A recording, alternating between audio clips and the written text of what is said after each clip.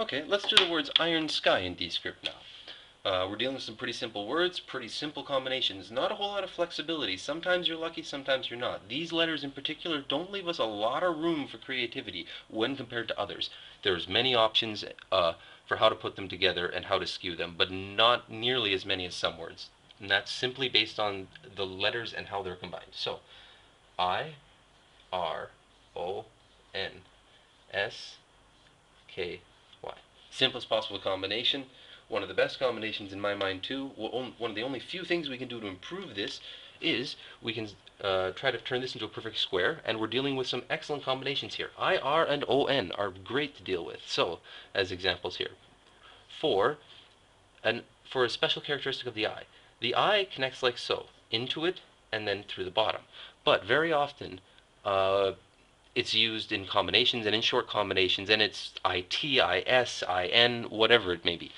You can add it here, just to save strokes for efficiency, for create, for and for aesthetic purposes. So, for example, IR, IE, IO, IS, and so on and so forth. So, how would we use that here? Well, we'd do that. We'd also use that alongside the O N combination that's available to us. So, what do we? O can be combined by this, but we could also put the N anywhere we like. The core, the key is that it's rotated in the right way. This is an N, and this is an N. Why? Because they both go counterclockwise, not clockwise. This is an M. It goes clockwise. Okay? Just remember that counterclockwise is the key, not which side or top or face the loop is on. So I R O N. And as you can see, that can easily be turned into a very nice square type of character.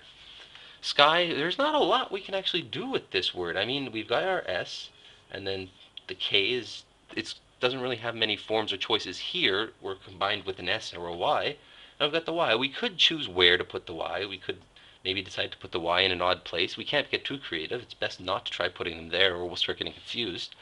So I'd say you just stick with the standard. The best thing you could probably do for aesthetic purposes is try to fill the space more evenly. So you go like that, and we filled a pretty even space with our sky word. And that's how you do the word iron sky in Dscript.